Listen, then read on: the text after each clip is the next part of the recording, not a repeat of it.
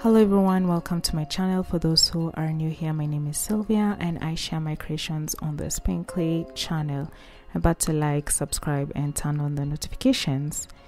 Today I'll be creating a digital painting of a landscape of a picture I took back in the year 2011 when I was in Tsavo East National Park on safari.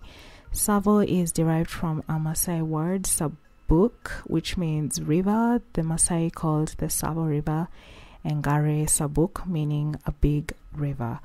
The Tsavo River flows west to east through the national park and dividing the park into the east and the west. I have only been to the eastern park, which is the Tsavo East National Park. Tsavo East National Park is one of the oldest and the largest parks in Kenya, and it's home to many animals, many, many animals, like the giraffe, which you see on this picture. Distinctly, I believe there are two different types of giraffes that you'll just look at and you'll know spot on.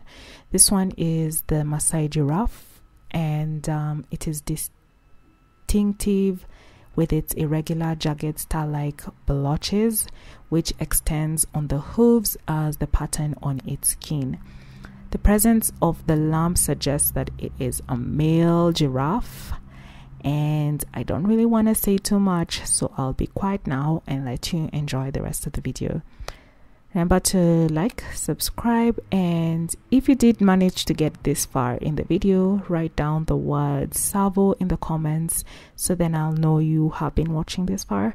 And also let me know what you think of the final artwork.